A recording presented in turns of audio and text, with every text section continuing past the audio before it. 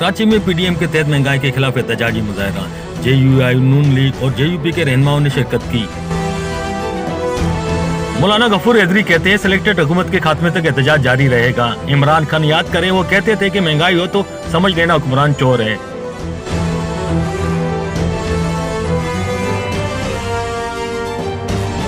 PDM ने महँगाई के खिलाफ इम्प्रेस मार्केट पर स्टेज लगाया। जेयूआई के मरकजी रहनुमा मौलाना गफूर हैदरी ने कहा कि मुल्क के हालात हुकूमती दावों के बरक्स हैं। लोग खुदकुशियाँ कर रहे हैं। मीशत को आसमान पर ले जाने की बातें करने वालों ने तबाही मचा दी।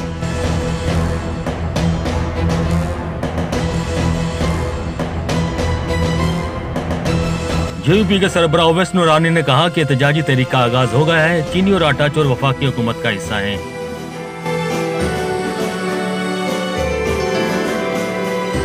मुजाहरे में नून लीग के रहनुमा शाह मोहम्मद शाह मिफ्ता इस्माइल भी मौजूद थे। एहतजाज की वजह से प्रेस मार्केट की सड़कें ट्रैफ़िक के लिए बंद थी। जिससे अतराफ की शाहराओं पर ट्रैफ़िक जाम रहा।